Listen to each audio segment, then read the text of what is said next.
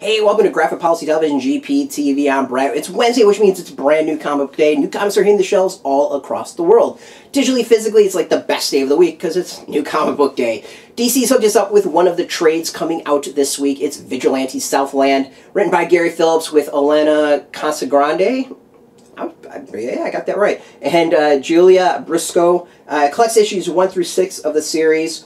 Um, and I say that kind of in a, in a, weird way, 1 through 6, because for those who might not remember, this series actually came out in 2016 towards the end of it, and unfortunately was canceled after issue 3. I don't remember if the fourth issue came out. Basically, you definitely did not get 5 and 6.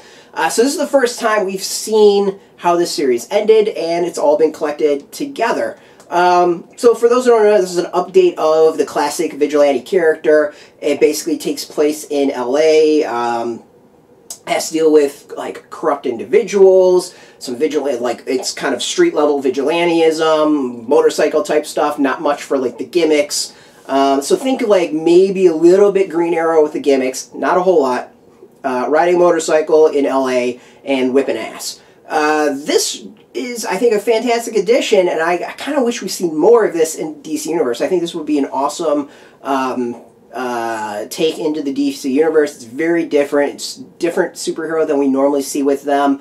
Um, I think Gary Phillips is a fantastic writer, especially for for crime uh, stories. Uh, he had a, a, one for for Vertigo Crime way back in the day. Loved that line of comics and loved his addition to it. Um, so yeah, I'm like as far as vigilante, straight up street justice type of stuff, this is really really good. Uh, you know, there was I'll say there's like some minor issues with it in that not everything's quite explained. There's some like choppiness a little bit in the storytelling. Things kind of fall into place a little bit too easy. But that's kind of what it feels like. It feels like that 70s kind of like revenge story, like a Death Wish type of thing. Or um, I'm trying to think of some of the other kind of like crime ones like that. But eh, with the vigilante. And it's just where everything just kind of works out. It's kind of got that vibe, but I think that's kind of what he was going for. So I I'm quite okay with it because I love those type of stories, and I'm a product of the '80s. Like I I love the the over the top violent things that you just turn your brain off.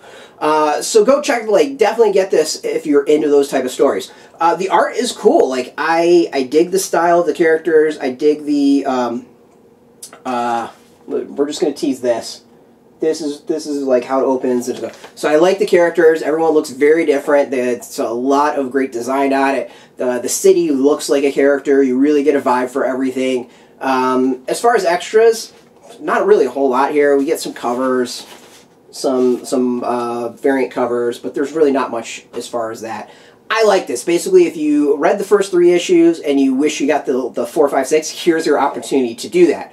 Um, if you just like the idea of like a street vigilante with not really much powers, really no powers, a few gimmicks, then you'll probably dig this too. Uh, so go check this out. Like maybe if we sell enough of these, then DC could bring back the character in some way. Um, one idea? Go a little anthology. Have the character show up in that. Would be kind of awesome. I love anthologies. Great way to test out characters. Hint, hint, hint. Uh, so go get this now in comic book shops. It'll be out in bookstores next week. Uh, there's a little slight delay in that. First and foremost, go support your comic book shops. Without them, industry is going to like collapse and suck. So uh, to get find a local comic book shop, we've got a link beneath this video. It is a uh, you go put in your zip code. It'll tell you if the shop's near you. No shop near you, no problem. We've got two affiliate links. The affiliate links are exactly that affiliate links. So we do get a little bit of, uh, of your purchase through that. But by doing that, you support our site. Uh, but just watching this video support our site and like sharing and commenting and stuff like that. So thank you very much. Of course, I want to thank DC Comics for hooking us up with this. Um, please do more. Bring Gary Phillips back at least. That, like he can do some cool stuff, I think. Um, but yeah, like as always, thanks for the support. If you're into DC Comics, if you're into DC Comics, if you're into comics in general, if you're into Vigilante, sure, why not? Uh, check us out every single day at graphicpolicy.com. We're on Twitter, Facebook, YouTube, Tumblr, all at Graphic Policy, keeping it nice and consistent. Until next time, keep reading those comics and keep it geeky. Hey, thanks for watching the previous video from Graphic Policy Television. Just by watching, you help support our site. Thank you so much. Now, if you're watching these videos, you probably care about geeky things like movies, television, comic books, toys, games, video games. you name it. You can go and subscribe right now to our YouTube channel to stay in touch and catch all the new videos, or check out our website at graphicpolicy.com. There's a nice link on this end of the video. But as always, thank you for watching. Keep on rocking and keep it